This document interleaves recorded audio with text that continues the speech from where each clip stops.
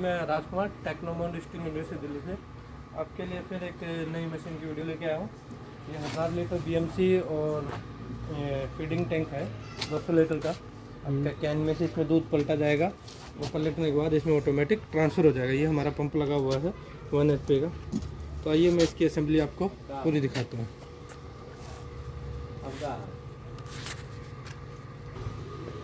ये देखिए ये पूरा कंप्लीट मॉडल है। ये 200 लीटर का डम टैंक है। यहाँ से इसमें ये कनेक्शन आया हुआ है ये पंप के थ्रू ये वाल लगा हुआ है। जैसे हम इस वाल को खोलेंगे ये पंप में सक्सिंग होगा। सक्सिंग होने के बाद ये यहाँ से आएगा। ये थ्री वे वाल लगा हुआ है। यहाँ से अगर हम इसको ऐसे कर देंगे तो ये सीधा इसमें ये इसमें आ, आउट मिल के ले सकते हो। और यहाँ से अगर हम इसको वापस ऐसे कर देंगे तो ये जो है हमारा बीएमसी के अंदर चला जाएगा। और जब बीएमसी से हमें दूध निकालना है तो ये वाला जो वाल है, ये खोल देंगे और इसको बंद कर देंगे। इस वाले वाल को बंद कर देंगे। बंद करने के बाद क्या है, ये इधर से मिल्क आपका सेक्शन लेगा और लेके यहाँ पे आएगा और इस थ्री वे वाल को ऐसे कर देंगे। तो फिर यहाँ से हम मिल्क को किसी भी उसमें यहाँ पे होज पाइप लगा के ये इसका जो पानी है, ये देखिए कैसे इसमें जाता है। ये मैं इसको बीएमसी उठा देता हूँ। देखिए हम मोटर चालू करते हैं। ऑन कीजिए।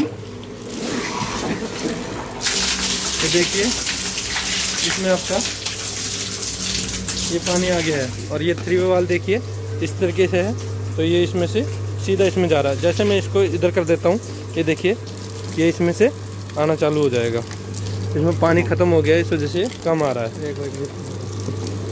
हाँ। पहले बंद करो यार।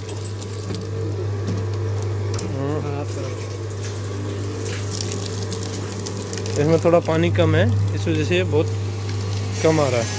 जैसे पानी डाल देंगे पूरे प्रेशर के साथ में, इसमें पानी गिरेगा। ये एक एच पी का पंप लगा हुआ है इधर।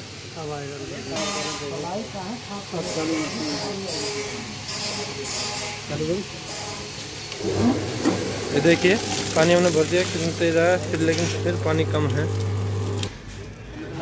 देखिए, ये सिंगल फेस का इसमें आउटडोर यूनिट लगी हुई है 2.5 टन का। और ये एक नंबर पे ऑटो मोड पे चलेगा।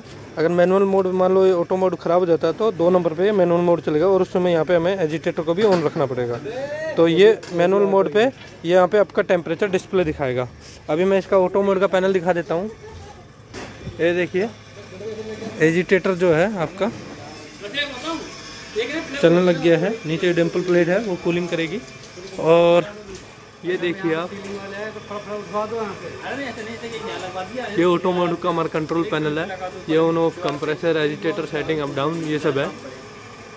इसमें कोई भी क्यूरी होती तो हमारा टेक्नीशियन आपको समझा देगा।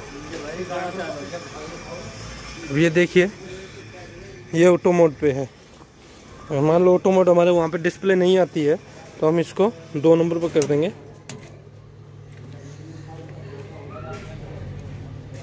ये यहाँ आपका टेम्परेचर दिखाएगा। अभी फ़िलहाल तेईस डिग्री है और ये एजिटेटर देखिए अभी बंद है।